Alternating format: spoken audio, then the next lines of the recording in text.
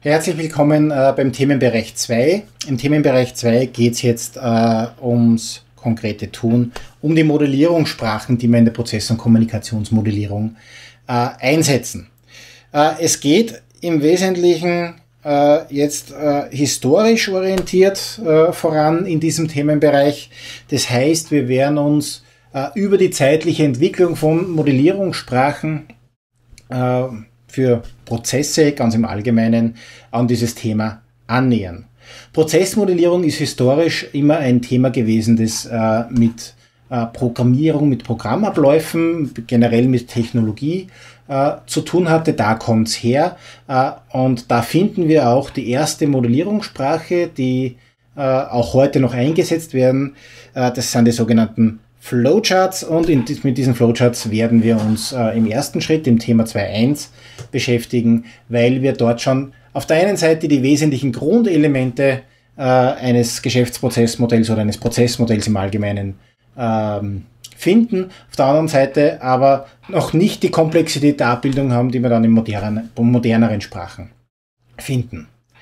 Ähm, man ist dann irgendwann einmal draufgekommen, dass äh, gerade was diese zeitlich sachlogische Abfolge betrifft, die Flowcharts aufgrund ihres Informatikfokus äh, ein bisschen eingeschränkt sind, nicht alles abbilden können, was in einer Organisation so vorkommt, äh, vor allem nicht abbilden können, äh, dass manche Dinge auch parallel ablaufen können. Ja, Flowcharts kommen aus einer Zeit, wo Computer noch nicht parallel rechnen konnten, sowas wie ein Multicore äh, Hyperthreading oder sonst irgendwas hat es äh, nicht gegeben, als Flowcharts entwickelt wurden. Wir reden irgendwann von den 50er, 60er Jahren des letzten Jahrhunderts. Ähm, und außerdem können Flowcharts nicht mit klassischen organisationalen Ressourcen umgehen. Äh, dementsprechend hat man sich dann andere Modellierungssprachen überlegt, die ganz speziell für Geschäftsprozesse dann auch schon konzipiert waren äh, und die über, Jahre hinweg am weitesten verbreitetste äh, sind die sogenannten ereignisgesteuerten Prozessketten. Die kommen aus äh, dem ARIS-Haus, aus diesem ARIS-Konzept heraus. Ähm, dort wurden sie definiert, um genau diese Steuerungssicht, die in der Mitte sitzt, zu realisieren und die unterschiedlichen Aspekte von Geschäftsprozessmodellen oder von Geschäftsprozessen in einem Modell abzubilden. Deswegen werden wir uns äh, auch ansehen. Die Praxisrelevanz heute ist beschränkt, da die EPKs großteils von den sogenannten äh, äh, von der sogenannten BPMN äh, abgelöst wurde, die heute auch nicht nur ein de facto Standard ist, sondern offiziell standardisiert ist und dementsprechend ähm, auch breite oder weite Verbreitung gefunden hat. Werden wir uns dann in Thema 4 anschauen. Äh, davor äh, gehen wir aber noch auf sogenannte auf die UML-Aktivitätsdiagramme ein. Die UML äh, kennt man vielleicht, ist die Unified Modeling Language, also Leute, die Software Engineering gemacht haben, haben das sicher schon einmal gehört. Äh, die UML ist eine Sammlung von Modellierungssprachen zur äh, Modellierung von Softwarearchitekturen. Auch dort gibt es Strukturmodellierungssprachen und Verhaltensmodellierungssprachen. Eine der Verhaltensmodellierungssprachen sind die Aktivitätsdiagramme. Was Aktivitätsdiagramme äh, zwar aus technischer Perspektive äh, kommend, aber das erste Mal realisieren, ist eine Nebenläufigkeit der Verarbeitung äh, und eine Aufteilung der Geschäftsprozesse in unterschiedliche Verantwortungsbereiche.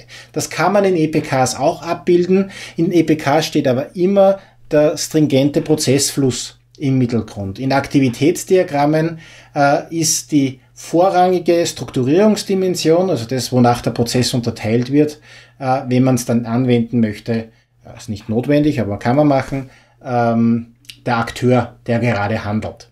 Äh, und das ist eine fundamental unterschiedliche Betrachtungsweise, ob man die Aktivität ins Zentrum stellt und die Akteure dranhängt. Ja, dann sieht man in, in erster Linie den Ablauf und hat als Zusatzinformation den Akteur dran.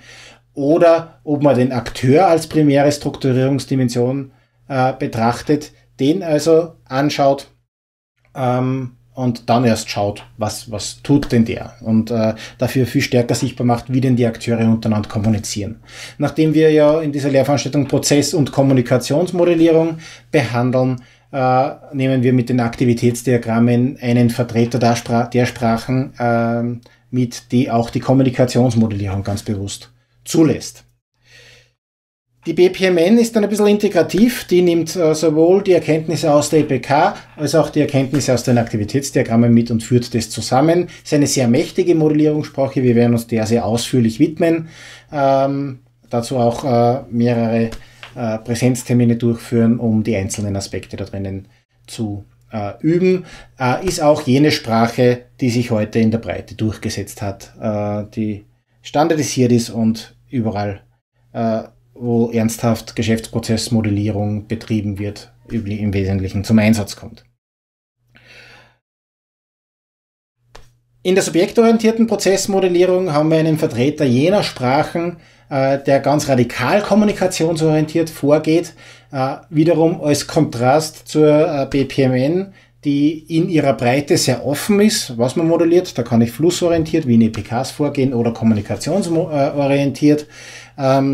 Äh, die SBPM und das kommt natürlich in der BPMN vielleicht äh, als Punkt dazu mit einer entsprechenden Komplexität der Sprache. Die hat sehr viele Notationselemente, sehr viele unterschiedliche Sprachkonstrukte, die man verwenden kann. Dementsprechend lang dauert es auch, äh, um sie mit der Sprache vertraut zu machen. Die subjektorientierte Geschäftsprozessmodellierung ist auf der einen Seite radikal kommunikationsorientiert, auf der anderen Seite aber auch sehr einfach. Die hat gerade einmal äh, vier, je nachdem wie man zählt, vier bis fünf Elemente. Äh, und mit dem kann man im Wesentlichen alles abbilden, was auch in der BPMN möglich wäre. Ähm, je nachdem, was man möchte, also auch das kommt wieder mit einem Trade-off, je nachdem, äh, was man möchte, was man betonen möchte und ins Zentrum rücken möchte, wählt man dann eher das eine oder eher das andere aus. Und äh, um dieses Handwerkszeug äh, auch zu vermitteln, schauen wir uns eben auch die SPPM an. Bevor wir dann im letzten Thema dieses Themenbereichs zur Einordnung und Sprachauswahl kommen, wo wir anhand der Definition, die wir uns in 1.5 erarbeitet haben, äh, nochmal gegenüberstellen, was denn die einzelnen Sprachen leisten können äh, und wie man denn jetzt für einen konkreten Anwendungsfall eine konkrete Sprache auswählen würde.